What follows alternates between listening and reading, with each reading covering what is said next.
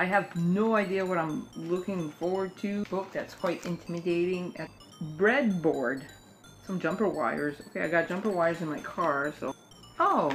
Oh, neat! Uh, I guess I can't wait to learn how to use it. I don't know if I should learn how to use all this stuff before we actually go to the next project. Or maybe I'll learn through the project. Some of you guys are using electronics right now in your first prototype.